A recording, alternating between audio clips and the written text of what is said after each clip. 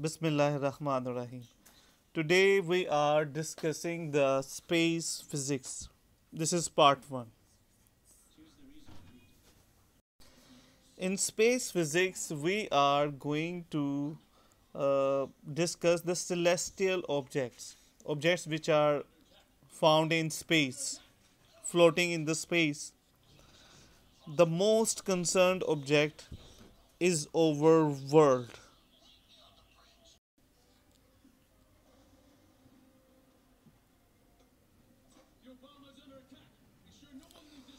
What we call our whole world is actually Earth. And what the Earth is? Earth is a planet.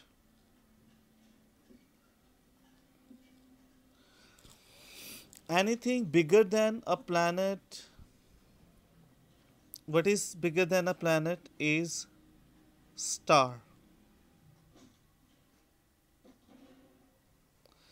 And the star we are concerned with, we are connected with is the sun. And anything bigger than the star is galaxy.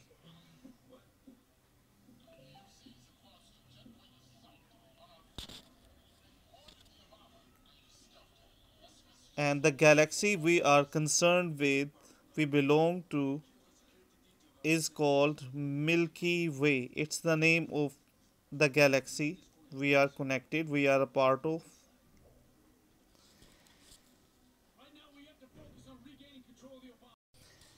And galaxy is a part of the universe.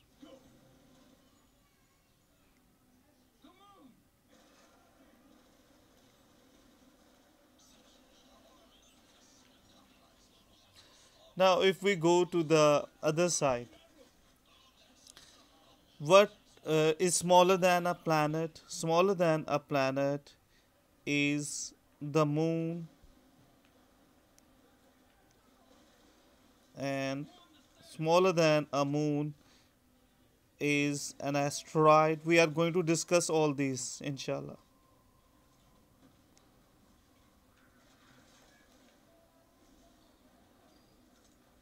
And smaller than an asteroid uh, is a comet. We will discuss all these one by one.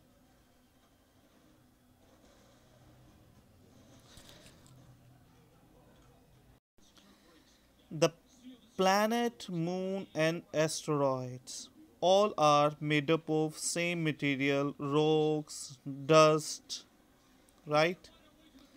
Although we have gases and liquid on the earth as well but mainly the core or internal part they are rocks the moon planet and asteroid. On the other hand the comet are made up of ice and dust. We will discuss it inshallah later on in the next part in detail. Now our main target in this part is a star. What is a star? You have to note down the definition. Star is a collection of very hot gases. Star is a collection of very hot gases and our star, the sun, is made up of hydrogen and helium. the most important uh, component is hydrogen. Hydrogen and helium. So what is the definition of star? Collection of very hot gases. And uh, the galaxy is collection of billion of stars. It, it is the definition. What is galaxy? Galaxy is the collection of billions of stars and universe is collection of billions of galaxies right? Clear? These are the definition you are, you got to keep in mind. Now we are going to discuss how a star is formed. So in space we have special places which are called nebulas. Here the stars are formed and they die as well, right? The nebula, what the nebulas are? Nebulas are huge clouds of hydrogen, helium, and dust. Hydrogen, helium, and dust clouds. And these are not clouds like we have in our world, in our sky. ये एक जो cloud होता है ना उससे millions of stars बन सकते हैं और एक स्टार मिलियंस ऑफ़ अर्थ से बड़ा होता है राइट यानी ये clouds is way way big we can assume of right and it is a part of a galaxy अच्छा क्लाउड ना, इसमें पार्टिकल्स हैं हाइड्रोजन हीलियम पार्टिकल्स तो ये हाइड्रोजन और helium particles now what happens इस क्लाउड्स के पार्टिकल या एक पार्ट के particle when they get closer particles get closer तो उनमें जो ग्रेविटी है, वो स्ट्रोंग हो जाती।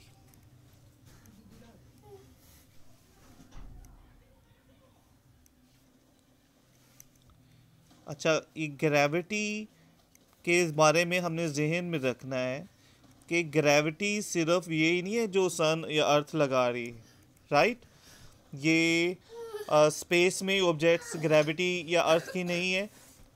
Every particle in the world applies the gravity attraction on another particle earth पे हमें ऑब्जेक्ट्स के दरमियान इसलिए ग्रेविटी फील नहीं होती कि अर्थ की अपनी ग्रेविटी इतनी स्ट्रॉन्ग है कि जैसे हमें दूसरी ग्रेविटीज़ का पता नहीं चलता सिमिलर जैसे सन में जब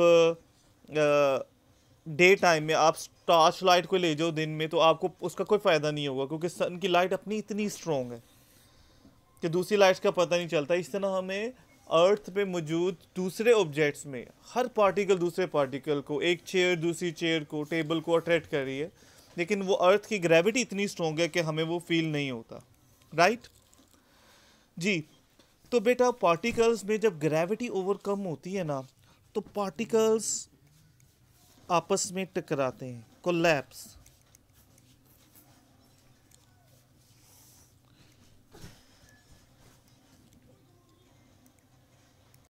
पार्टिकल्स जब कोलैप्स करते हैं तो उससे हीट प्रोड्यूस होती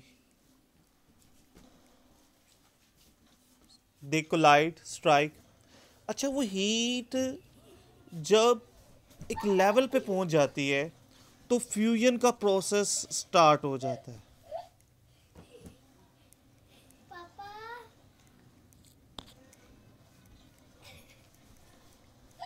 फ्यूजन जो सा है वो एक प्रोसेस है जिसमें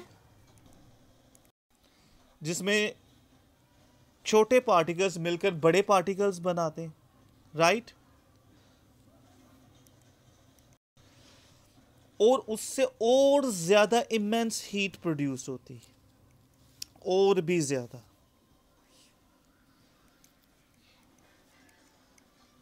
अच्छा हीट ना पार्टिकल्स को, किसी भी चीज़ को हीटर करें तो पार्टिकल्स एक्सपैंड करते हैं। हीट पार्टिकल्स को एक्सपैंड करती है और ग्रेविटी जो सी है वो पार्टिकल्स को करीब लाती जब ये इमेंस हीट प्रोड्यूस होती है फ्यूजन से जो पार्टिकल को एक्सपैंड कर रही है on the other hand gravity particles को करीब, ये एक दूसरे को बैलेंस कर देती हैं। ये दोनों पावर्स कौन सी फोर्सेस के expanding force due to heat और अट्रैक्शन फोर्स ऑफ़ ग्रेविटी दोनों बैलेंस कर देती हैं। तो गैस का ये पार्ट तो गैस का ये जो पार्ट होता है, ये एक फिक्स शेप में आ जाता है। यानी ग्रेविटी उसे करीब ला रही है पार्टिकल्स को, और वो जो हीट है, वो उसको एक्सपेंड कर रही है। राइट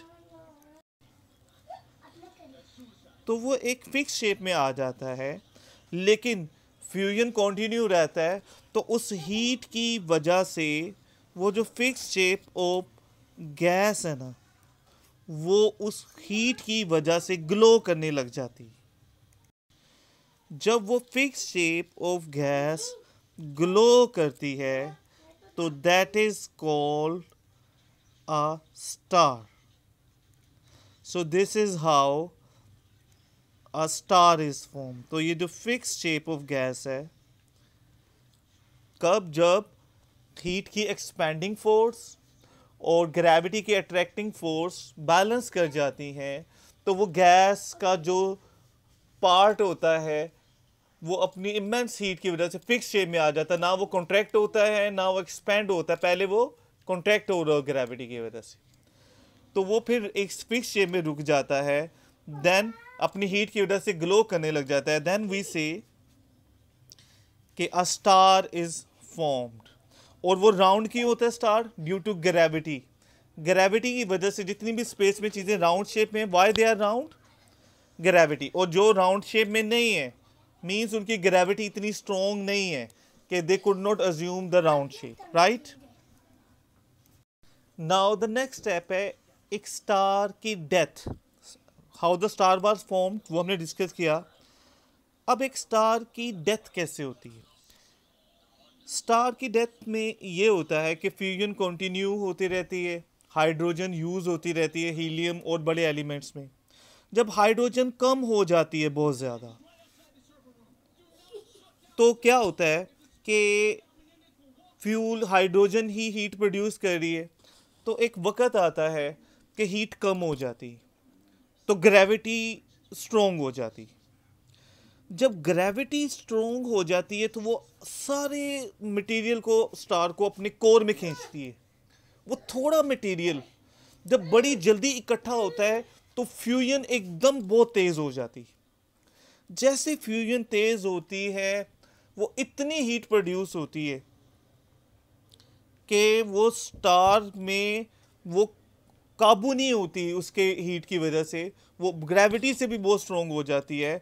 तो वो स्टार एकदम एक्सपैंड होकर बहुत बड़ी शेप में आ जाता है which is called a red giant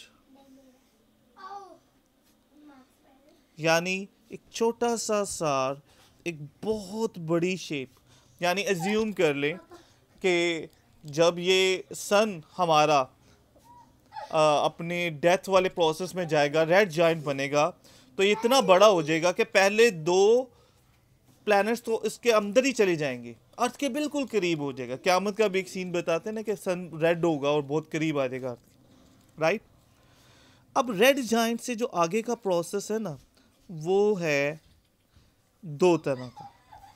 वो होता है डिपेंड करता है स्टार लाइक like, अगर एक medium star like our sun हमारा सन एक मीडियम स्टार स्टार है। तो जब वो रेड जाइंट बनता है ना तो जब एक्सपैंड हो जाता है ना तो सारी हीट रिलीज़ हो जाती है उसकी। हीट रिलीज़ हो जाती है। जब वो हीट रिलीज़ हो जाती है तो उसका जो सारा मटेरियल है वो हीट निकल जाती है। तो अब ग्रेविटी रह जाती है। ग्रेविटी ओवरकम कर लेती राइट ग्रेविटी ओवरकम्स तो वो जितना मटेरियल था, अब वो अंदर की तरफ़ ग्रेविटी की वजह से स्क्वीज होता है स्ट्रॉन्ग अंदर की तरफ़ अट्रैक्ट करता है। अब अंदर की तरफ़ अट्रैक्ट करता है ना तो उसका छोटा होने का वो जो ग्रेविटी की वजह से अंदर की तरफ़ वो सारा मटेरियल कॉन्ट्रैक्ट हो जाता है। वो इतना छोटा हो जाता है कि जैसे समझें कि एक पूरे फुटबॉल स्टेडियम को हम छोटा कर दें और एक फुटबॉल जितना कर दें। लेकिन मैस उतना ही है जितना एक फुटबॉल में, एक फुटबॉल स्टेडियम में।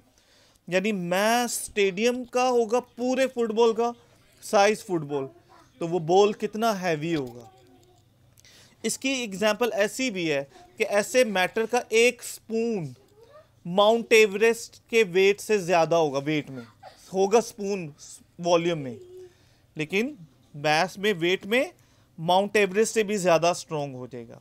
तो वो इतना छोटा हो जाता है, उसे हम कहते हैं वाइट ड्वार्फ वाइट ड्वार्फ बहुत छोटा होता है। और जब वाइट ड्वार्फ सारा मटेरियल उसके अंदर चला जाता है वो जितना मटेरियल इकट्ठा होता जाता है वो ग्रेविटी उतनी स्ट्रॉन्ग जैसे स्पेस में जिन मटेरियल की कुछ ऑब्जेक्ट्स की ग्रेविटी स्ट्रॉन्ग है, क्यों? जिनमें मैस ज़्यादा, जिनमें जितना ज़्यादा मैस है ग्रेविटी उतनी स्ट्रॉन्ग उसी ग्रेविटी स्ट्रॉन्ग होती जाती। इतनी स्ट्रॉन्ग कि वो साइड के प्लैनेट्स को अपने अंदर अट्रैक्ट कर लेता है। और सम टाइम वो इवन लाइट को भी अट्रैक्ट कर लेता है। जब वो लाइट को भी अट्रैक्ट करता है तो तब हमें उसमें से, क्योंकि लाइट को भी वो अट्रैक्ट कर रहा है, उसमें से आती हुई लाइट हमें कोई ऑब्जेक्ट तभी नज़र आता है ना, जब उसमें से लाइट हमारे तक हमारी आइज़ तक पहुँच रही है। जब वो लाइट भी नहीं आ रही तो वो नज़र नहीं आता। ठीक है? उसे कहते हैं वो ब्लैक होल का छोटा एक टाइप बन जाता है। ब्लैक ड्वार्फ कहते हैं। जो बड़ा प्लानट है, वो बड़ा स्टार है, वो ब्लैक होल बनता है। मीडियम या छोटा स्टार वो ब्लैक ड्वार्फ बनता है right on the other hand right side पे देखेंगे, अगर कोई बड़ा स्टार है तो वो रेड जाइंट के बाद बहुत ज़्यादा हीट हो जाने की वजह से वो एक्सप्लोड ही कर जाता है। उसे कहते हैं सुपरनोवा एक्सप्लोजन इसमें उसका बहुत ज़्यादा मटेरियल स्पेस में फैल जाता है। वो जाके किसी भी स्टार किसी प्लान किसी को भी गैलेक्सी में टकरा सकता है आगे कहीं पर। लेकिन जो उसका मटेरियल बच जाता है एक्सप्लोयर होने से